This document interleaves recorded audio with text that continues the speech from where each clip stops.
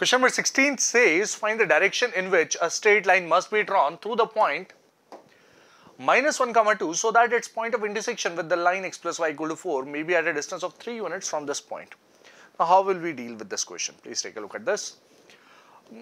If you have studied something called parametric form of equation of line, you would be thinking about a particular method of parametric form. But then the NCERT people have not touched upon that and for that uh, in case of direction we just have the slope right. So we can talk about the slope first of all and see where does that take us.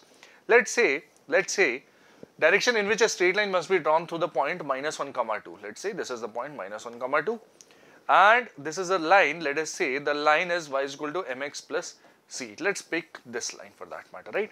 Instead of using area form let's use the point slope uh, the slope intercept form this is easy, right? And we directly have the slope which is required at the end of the day, right? The slope is required at the end of the day.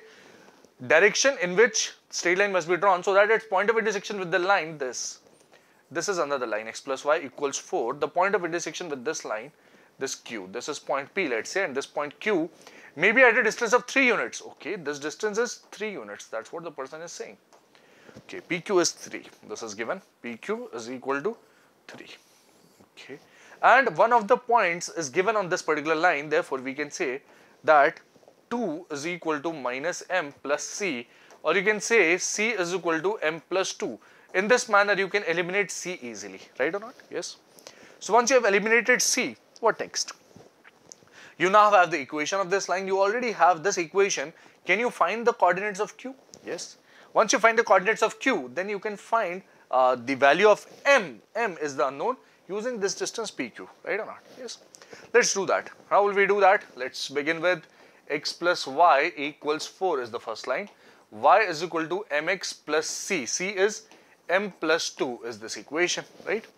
Let's uh, replace y with 4 minus x. Okay, solving these two gives me y equals 4 minus x. This is 4 minus x is equal to mx plus m plus 2. Okay.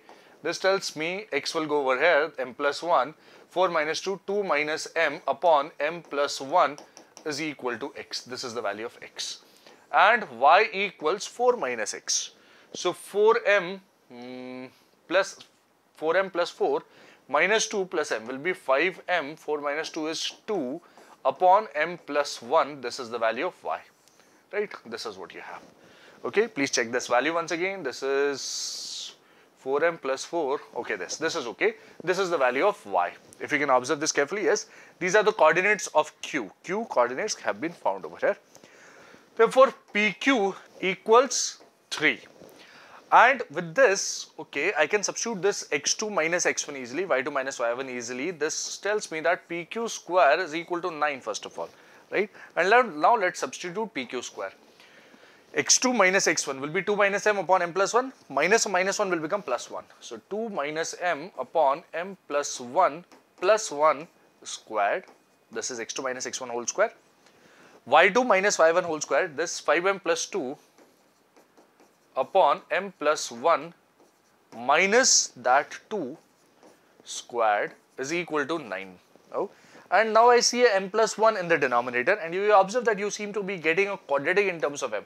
A quadratic in terms of m implies that the answer, you'll get probably two answers, two answers, yes. So, one of the distances, one of the points q can be at a distance 3 units like this and another point can be at a distance of 3 units like this, right. That is the possibility in this particular question, right. Although you may get one more condition that if both the roots are same, if both the roots are same, then this 3 is actually the perpendicular distance. Can you check the perpendicular distance of this point? This is minus 1 plus 2 minus 4. So this becomes okay 3 upon root 2. Now this is 3, 3 upon root 2 is smaller than 3. Okay, so therefore you are supposed to get two particular values for q, two particular values of m for that matter, right? And this quadratic seems to be going in that way. Okay, so let's try to uh, multiply with this m plus 1 whole square. This will come in the denominator common. Let's bring that over there. In the numerator, you get 2 minus m plus m plus 1. What is that? 3. This is 3 squared plus, what is this equal to 5m plus 2 minus 2m. 5m minus 2m is 3m. 2 minus 2 is gone. Okay, this is squared. This is in the right hand side, you have 9m plus 1 whole squared. Okay, what is this giving me further? this tells me that this is 9 plus this is 9m square and this becomes 9m square plus 18m plus 9. Okay. And here a very peculiar thing happens. Peculiar? No, it seems, does not seem very peculiar initially. But then this says that 9m square, 9 square is getting cancelled. Yes. Okay. So you were initially maybe getting a quadratic but this m square terms gets cancelled. So you are left with only a linear equation and you can also observe this 9 also gets cancelled and what you are left with is 18m equals 0 or m equals 0 seems like the only possible solution. But then we guessed that yes if this is one solution then you are supposed to get another solution in this manner. And herein lies one important observation. What is that observation? That if in such cases when the uh, coefficient of m square becomes 0 or when you seem to be getting a quadratic but at the end of this solution you see that uh, the term of m square gets cancelled then the one of the roots has been missed and what is that root? You remember, you remember one thing that slope is not defined for an inclination of 90 degree, right? So slope is not defined means such a value of m cannot be obtained in such an equation, right? and that is the value of m that is missed. M undefined or m tends to infinity. That's what you call it right? M tends to infinity or m undefined is what you want to call it right? Inclination in this case inclination in this case is 90 degree.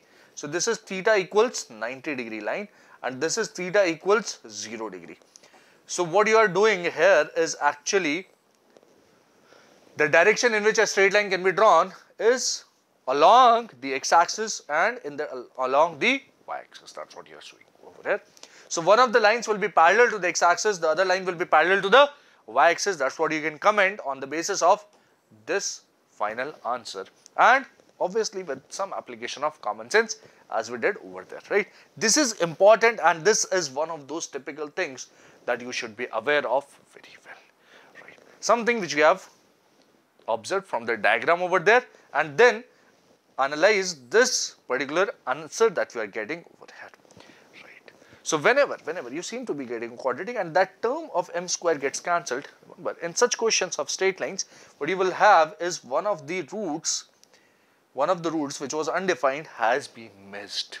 Okay. For that theta equals to 90 degree, that particular inclination of 90 degree has been missed, you pick that inclination of 90 degree as well. Right, that's the final solution for this particular 16th question. One line is parallel to the x-axis, other line is parallel to the y-axis from this particular point, right. So, one of the lines will be x equal to minus 1, the other line will be y equals to 2 and you will get two possible points q, right. That's the final answer for this question as you can see over here.